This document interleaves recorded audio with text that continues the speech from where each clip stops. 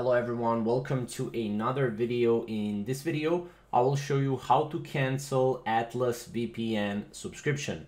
Now, there are three different ways how you can cancel Atlas VPN subscription. One uh, way is obviously do it through the uh, Google Play Store or through the App Store, or you can go and actually contact Atlas VPN to cancel uh, you know, your subscription. So Obviously, this is what you need to do. So if your payment was made through Google Play Store or Apple App Store, you can cancel the recurring subscription yourself.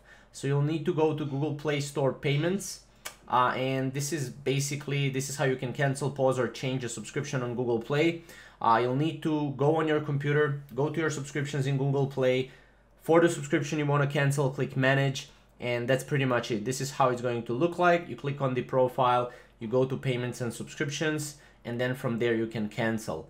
Alternatively, you can use the same uh, you know, the same way to cancel with Apple App Store as well. Now, if you used other payment methods, uh, then, you know, the team from Atlas VPN will help you cancel your subscription uh, and discontinue future payments. So you need to fill out the cancellation form right here. So click on the cancellation form and you'll be able to uh, basically go and, uh, you know, cancel Atlas VPN subscription.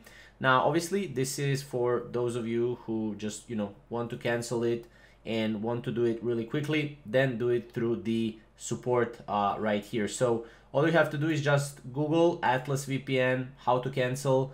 You will go on this page right here. Here, just click on it and you'll be able to cancel it. So that's pretty much how to do it. Thank you guys for watching.